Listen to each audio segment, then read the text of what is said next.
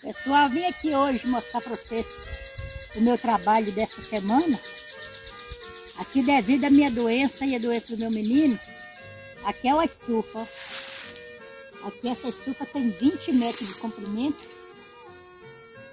E eu plantei muita coisa aqui, mas o negócio de ter eu, o mato cresceu, as plantas que eu tinha plantado aqui, cenourinha, beterraba, apodreceu tudo no meio deste mato. Aí agora eu tô cortando essa braquiária aqui, nasceu mamelada, braquiária e picão. Aí eu tô cortando com enxada, aí você vê minha enxada aqui, ó. A fisioterapia que eu faço é, é, é com isso aqui, ó. Minha fisioterapeuta é essa. Então, pessoal, eu tô roçando com a enxada, porque eu não sei roçar com coisa. Aí eu tô roçando essa braquiária com a enxada e tirando e colhendo as abóboras. Eu, eu, eu tiro eu corto aqui, tem hora que eu até corto uma abóbora, aí eu faço assim tabaquiara, ó. Eu, tem hora que eu arranco a raiz, braquiária é assim, se a gente achar, se a gente deixar uma raizinha, ela cresce. Aí eu tô fazendo com esse mato aqui, ó. Esse mato aqui foi tudo dessa semana. Eu venho aqui, trabalho duas horas aqui e vou embora. Aqui é a quiara que eu plantei também. Já colhi a semente para guardar. Agora eu tô cortando aqui a, a mamelada e a bequiara. Eu quero plantar mais cenourinha e mais beterraba aqui. Nesse lugar. Plantar tomate. Se for da vontade de Deus. Se Deus me der um recurso para mim fazer essa estufa de novo. Eu vou plantar o tomate e alface porque quando estiver chovendo não vai prejudicar, porque aqui era uma estufa, ela era toda arrumadinha, o plástico daqui de cima derreteu, caiu. Ainda tem um pedacinho dele ali, ó. Mas o plástico de cobrir não é um plástico barato.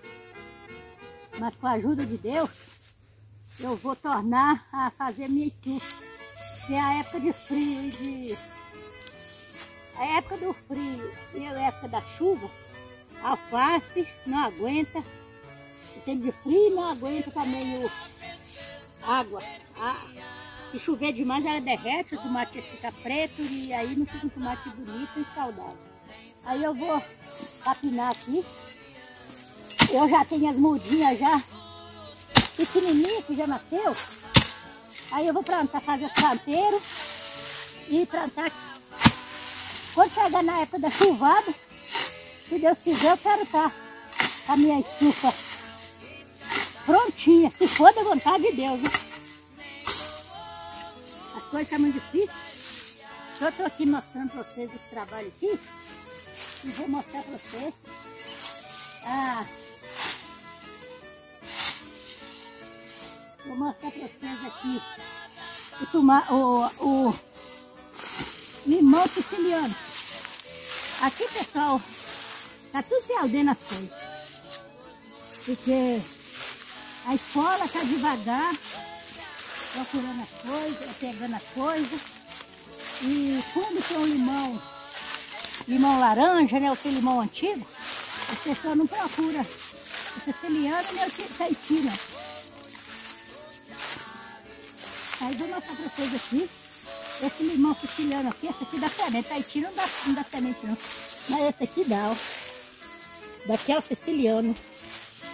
Olha pra vocês verem que bonito. Ele tem até um imbiguinho. Olha aí, esse que tá maduro assim no pé. Que tem tanto picão. Que, que a gente fica com picão. Aí, ó.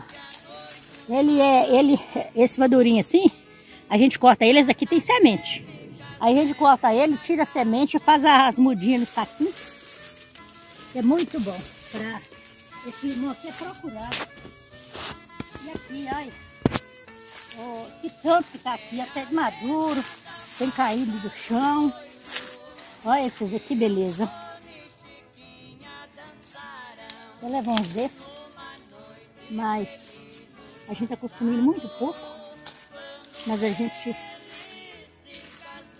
Ver se chega uma pessoa na casa da gente, a gente pega e dá pra ir. Aqui é a lima. Isso aqui não é o siciliano, aqui é até de lima. Olha, essa aqui é a lima.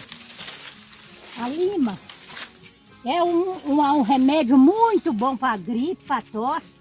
Tem a tosse que chama tosse de coqueluche. Deixa eu para mostrar. Aí antigamente as mães não deixavam as meninas chupar a lima de jeito nenhum. Falavam, você pode chupar a lima não? Seu sangue vira água. Mas era tudo bobagem. Ela tem um cheiro muito gostoso. E ela é mais lisinha, ó. Aqui chama lima, fica amarelinha quando, quando ela tá madura. Esse ano não deu muito, não. Ela tá até com a empurungando a sopa, precisa fazer uma, uma, uma calda bolanesa para poder colocar nela para ela acabar essa, essa parar de rusgar essas folhas. Aqui é, é uma mexeriquinha também. Laranja champanhe. Hum, champanhe, verdinha aí, bonita, tem o gosto de champanhe. Ela tá carregadinha, também tá com os no chão. Então, pessoal, a gente gosta de estar mostrando para os seguidores que aqui nesse lugar a gente planta as coisas aqui, Deus abençoe que dá. Mas tem muito mato, a gente desceu, meu marido também, ele estava tratando de vista, fez uma, a cirurgia de vista, não pôde cuidar, eu também não pude, mas graças a Deus, Deus recuperou a nossa saúde. Esse ano que vem agora, Vai ser tudo diferente. Aqui é laranja Bahia. Tá verdinha ainda. Ela tá de gás no chão ali, que tanto que tem ali, né? Então, gente, eu passei para aqui, estou vindo buscar as abóboras, porque eu cortei esse mato aqui, ó.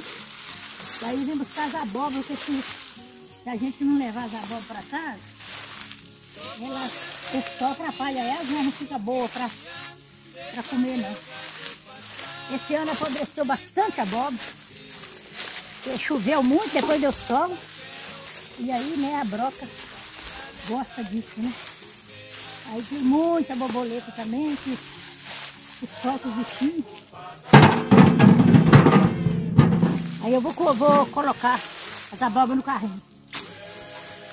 Vou levar ao menos essa. O ano que vem, a semana que vem vai ter mais colheita de abóbora, porque aquele lado ali, ó, tudo é abóbora mas tudo no meio do mato. Deu muita, mas é, a gente apodreceu bastante, mas ainda tem mais. Aqui eu, eu fui, aqui eu fui ontem dar uma enxadada na moça de baquiara, tirou esse tampo aqui.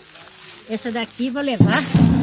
Essa daqui não atura nada, essa que solta o talo que, que tem agurranhado não, não atura não. Essa daqui também soltou o talo, mas ela tá com peso. Ela, vou doar, aí vou doar. Essa que tem o talo atura mais. Aí eu vou levando essas aqui. Eu buscar mais. Olha pra vocês que beleza. Amadureceu aqui no mato mesmo.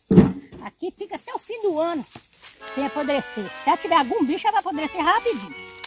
Mas se ela tiver toda sanzinha, ela não, não apodrece fácil não. Daqui é a japonesa. A gente comprou um semente a um real cada uma semente e plantou já tem uns quatro anos. Nós compramos uma semente só por um real, já tem uns quatro anos. Aí, este ano já não precisou né, de comprar mais semente, porque nós tiramos a semente da mesma abóbora e plantamos. Só pessoal, a abóbora japonesa assim. Você tem que plantar da comum Arranca o talo, você viu? Uhum. É, a gente tem que plantar dessa aqui comum. Quando tiver 15 dias que a gente plantou da comum, que a gente vai plantar japonesa. Não pode plantar, não pode plantar junto não.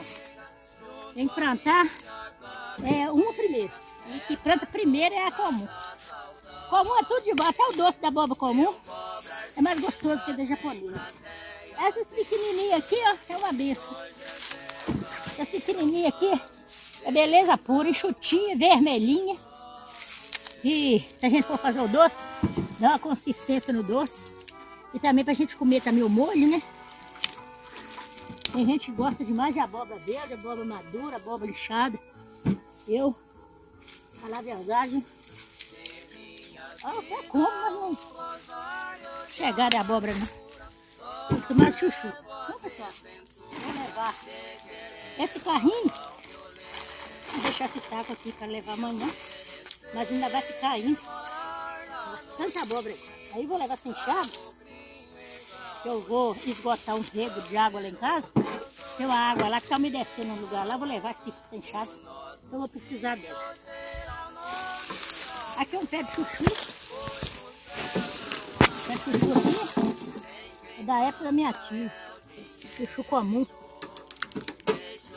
Antigo. Chuchu muito antigo.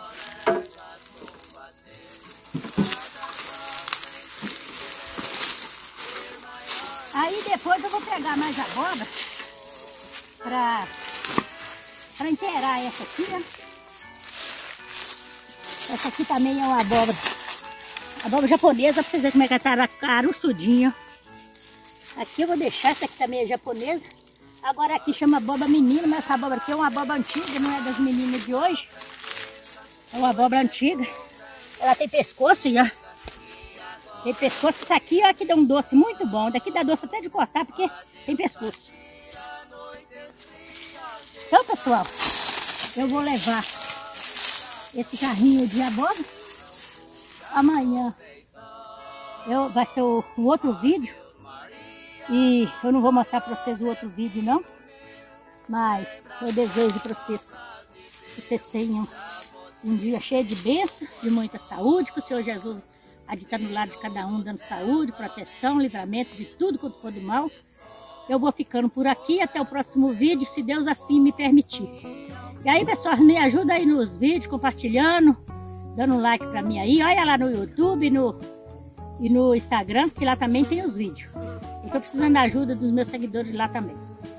Bom, pessoal, fico com Deus. Até o próximo vídeo. Tchau, pessoal.